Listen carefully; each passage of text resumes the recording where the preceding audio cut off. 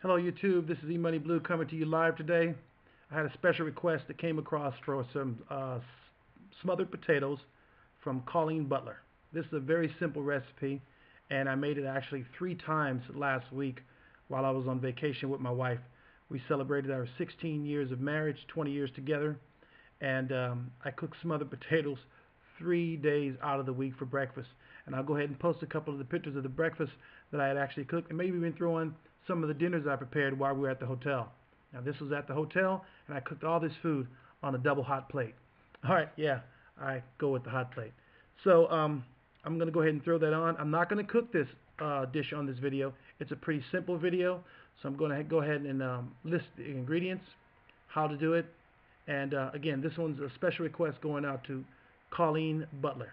Thank you for viewing.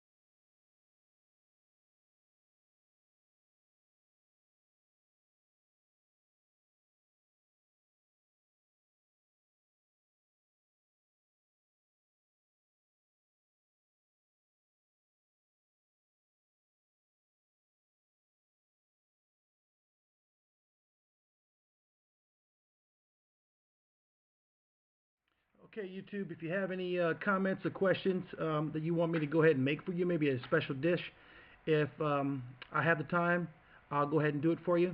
Most of the time, uh, these dishes that I cook are just spur of the moment, and uh, I never know what I'm cooking until uh, it's done. Matter of fact, I'll tell you this. Today I'm making uh, pinto beans with smoked bacon and uh, uh, andouille sausage with uh, fried chicken strips and uh, biscuits. Doing that for dinner tonight. I know something light. Wife's going on a diet. She's going to hate it when she sees it. All right. Thank you.